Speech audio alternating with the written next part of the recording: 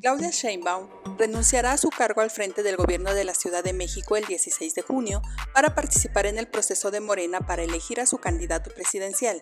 Martí Batres, secretario de gobierno, ocupará el cargo de manera provisional hasta que el Congreso Capitalino nombre a un sustituto. Estados Unidos deja de aceptar citas a través de la aplicación móvil para admitir a solicitantes de asilo en el cruce fronterizo de Texas y Nuevo Laredo, después de que activistas advirtieran a las autoridades que los migrantes eran objeto de extorsión en dicho paso migratorio.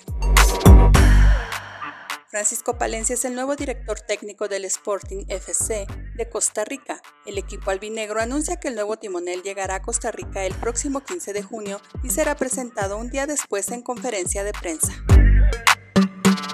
Barbie y Ken llegan a México. Los actores Margot Robbie y Ryan Gosling confirman en un video difundido en redes sociales que pisarán tierra azteca para presentar Barbie la película, previo a su estreno el próximo 20 de julio.